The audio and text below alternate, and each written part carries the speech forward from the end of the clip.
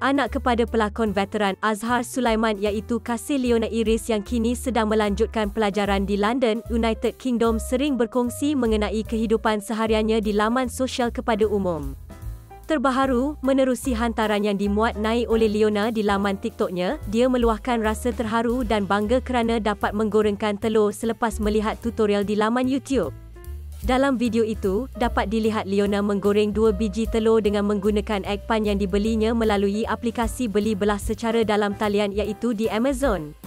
Dengan hanya sekali percubaan sahaja, gadis yang berusia 20 tahun itu meluahkan rasa bangga kerana telah berjaya menggoreng dua biji telur dan menikmati hidangan tersebut bersama dengan roti bakar.